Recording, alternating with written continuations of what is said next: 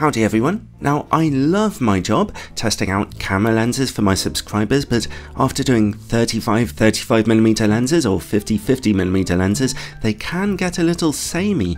That's why I love it when manufacturers design something a bit different and over the years one company in particular seem to have relished doing that whenever they can. So here's a list of some of the craziest Canon lenses they ever designed You'll be able to find a little extra information and links to reviews down in the description below, as usual. Firstly on the list, if you enjoy a little light street photography now and then, or if you're looking for a lens to carry up and down mountains with you for some casual landscape shots, then look no further than this, the world's largest SLR camera lens, and its weight of only 100 kilograms or about 220 pounds will mean that the related medical bills from even trying to pick this thing up will put your chiropractor's children and grandchildren through college.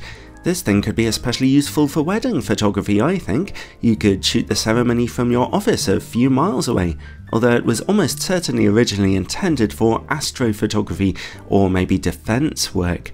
With a field of view of only 0.5 degrees, this is probably the longest telephoto lens that was ever made commercially available. Reportedly, only three were ever made, with all the R&D it would have taken to develop, goodness knows what its original cost was back in the 1960s. It has a fixed aperture of f14, so due to diffraction, you'll be limited as to how much resolution it can truly offer you in your images, maybe 20 full frame megapixels. I can't be bothered to do the math right now, I'm sure someone else will down in the comments below though, and that's if the lens is actually sharp in the first place. Catadioptric lenses do tend to be softer, it does have built-in ND filters though, if you want to reduce the light coming in and make it even darker. And before anyone asks, no, I'm not planning to test this one out anytime soon, apart from its scarce availability and very high price whenever it does appear for sale. Well, I'd need a forklift truck to get it into position for any and every picture I take, and I don't fancy having to explain that to a psychiatrist a few years down the line. Next up, a crazy Canon lens I've actually managed to test this time, as I had the unique opportunity to try out the brightest aperture 400mm lens ever made, and it's an absolute monster. It's possibly the only copy of this lens ever produced, serial number 8001, who knows? That front glass element is a huge 20 centimeters wide and the autofocus backgrounds this thing can offer you are truly astonishing, although it was probably originally manufactured on special order for shooting photo finishes at horse races at 11 kilograms, this is one of the heaviest lenses on this list, and with its simple tripod mount and manual focus mechanism, it's actually quite a pain to use. Its technical image quality was nothing to write home about either, being a pretty soft lens with strong colour fringing, but still, the look of its images are truly astonishing and unique, so anybody desperate to get some of the most compressed and out of focus backgrounds possible today might want to keep an eye out for this one, if any more copies of it actually exist anywhere, that is. Next, well, what happens when it's 1981 and the whole world wants autofocus, but your lens mount system is antiquated and your cameras can't handle it? Duh, just build an entire autofocus system, including triangulation sensors and a motor, and even a confirmation beep, into the camera lens itself. What the heck, Canon? You guys are crazy, just look at this thing. It requires AA batteries and an FD mount adapter to get it to work on whatever camera system you're shooting with, also, you'll be lucky to find one that actually works properly nowadays.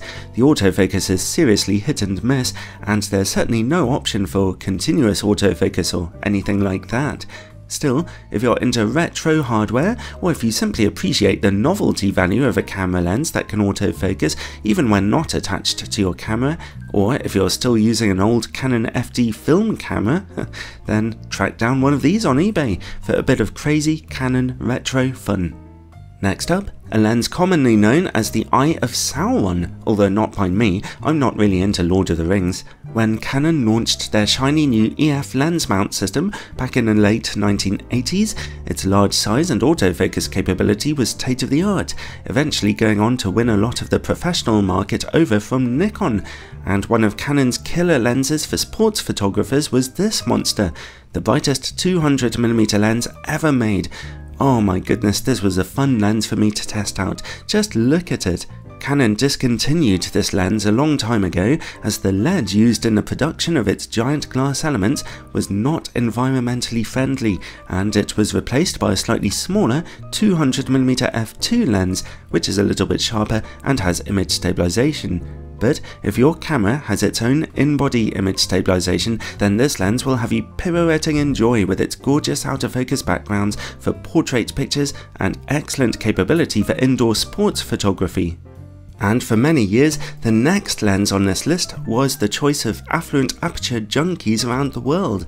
Canon continued to show off their new EF lens system by releasing this epic 50mm light-sucking black hole of an optic, the EF 50mm f1.0 L.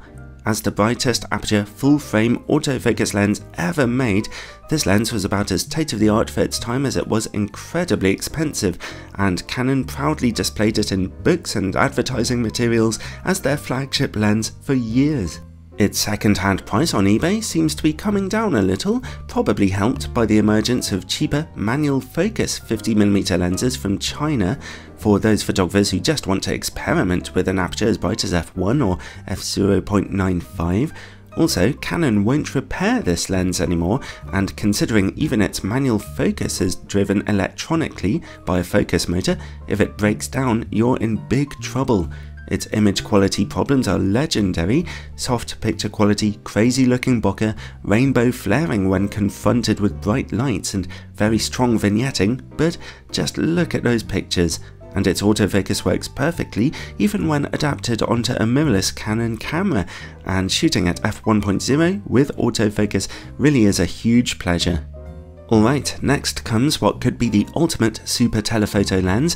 Not only is this thing's crazy focal length of 1200mm the stuff of legends, but having a maximum aperture of f5.6 there is truly astonishing, giving you acceptable shutter speeds for shooting sports and some of the most out of focus backgrounds it's possible to get on any camera lens available. I haven't been able to get hold of one of these incredible lenses for testing yet, so here are some pictures from my review of its younger brother, the also incredible RF 1200mm f8. Now, the small number of the old f5.6 lenses that exist in the world were originally manufactured by special order for Canon's older FD mount cameras, before being upgraded to autofocus EF mount and put back on the market for a few years in 1993. Canon only made two of these per year, and the lens is long discontinued now, meaning their prices have skyrocketed.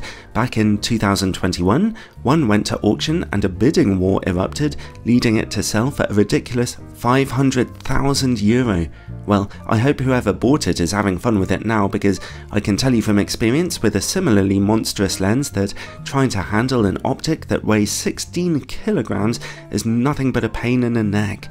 I'd rather have that new RF 1200mm f8 lens any day, which is actually hand holdable and considerably less money. And the newest lens on this list is another RF concoction from Canon, Traditionally in the past, zoom lenses were hardly well known for having the brightest maximum apertures or being competitively sharp. Well, this rather gigantic and expensive Canon optic totally broke that mold forever and was the subject of conversation and admiration among photographers for absolutely ages when it was announced. Canon just seem to love launching crazy lenses whenever they bring out a new camera system. The only thing I didn't like about this lens was its focus breathing.